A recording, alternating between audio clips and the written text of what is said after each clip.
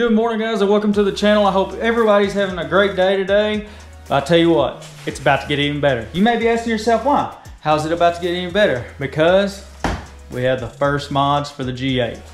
That's right guys, behind the camera right there are the new mods for the G8. So before I turn around and show you what we got, I want you to tell me in the comments below what you think it is. I'll give you a couple minutes to wait and see what you think it is. Boom. There it is, guys. Would you just look at it?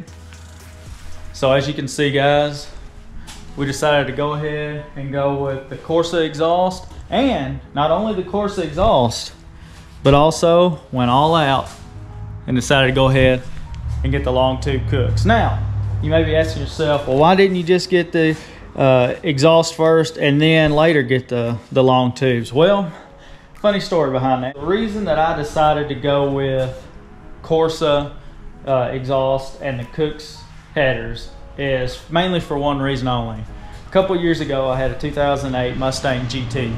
Uh, I love that car as the S197 platform.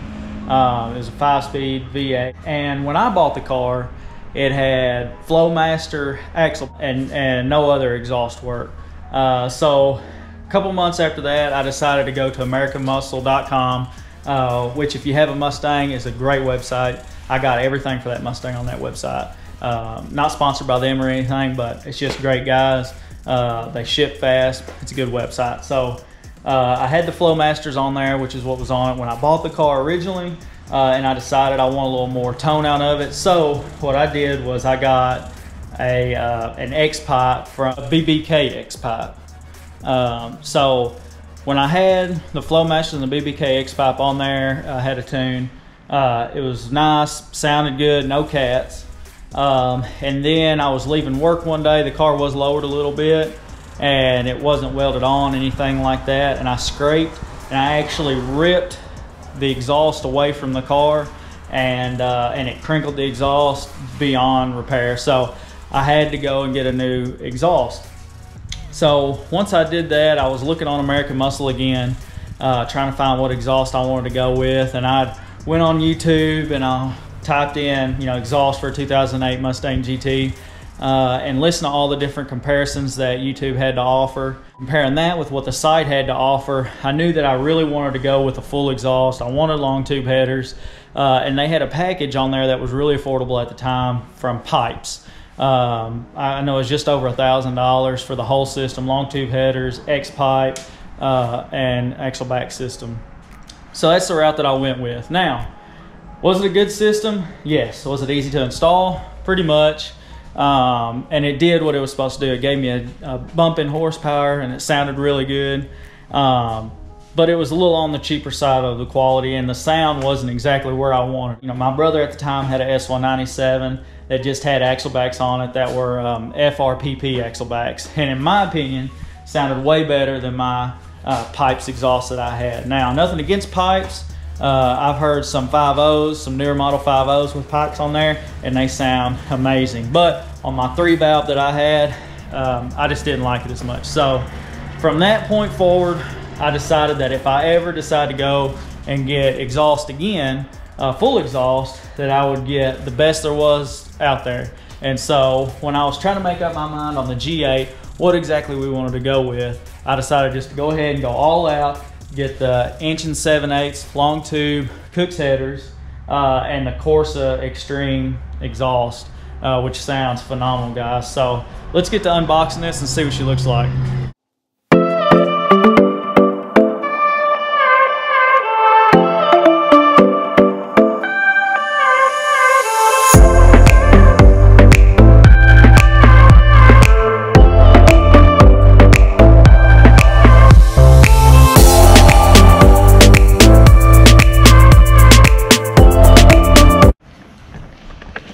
Oh my gosh, guys, there it is.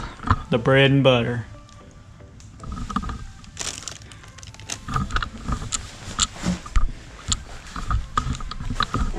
And it comes with a sticker. I mean, that's worth like 10 horsepower right there. Now guys, one thing that I didn't know that I just found out about this exhaust is that the tips, they're not flush. I don't know if you can see it, they're not flush, they're actually staggered. So,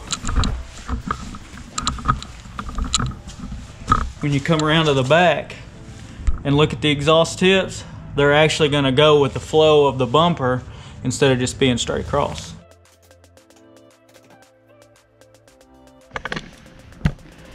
All right, guys, and this is gonna be our X-pipe system. Woo! So there you go, guys. This thing is gonna be screaming, and I know that we're gonna see a whole lot of power gains out of this too. Are we gonna dyno it? Yes, we are gonna dyno it. Uh, I've got to find a good place that has a dyno. I believe the closest one to me is probably in Memphis, uh, but we'll make uh, a scheduled appointment to go get that done. Uh, in the meantime, we're gonna have this car taken down to my buddy's shop. Uh, and we're both going to put it on there uh, and tune it with HP tuners. The guy that uh, that's done some of my other vehicles, he's an absolute whiz at it. He does a great tuning job. Um, he doesn't do just uh, Chevrolet stuff. I've seen him do Fords, Dodge. He does all kind of stuff. Great guy. He's got his own YouTube channel, Gears and Octane 526. Uh, I'll put the link to his YouTube channel down below. And with that, guys, I'm gonna go ahead and wrap up this video. I know that you guys are excited to get all this stuff on. I'm excited to get all this stuff on, start making some power, making some noise. I'll see you guys next time. Almost forgot, guys. Don't forget to like and subscribe. Appreciate it. Have a great day.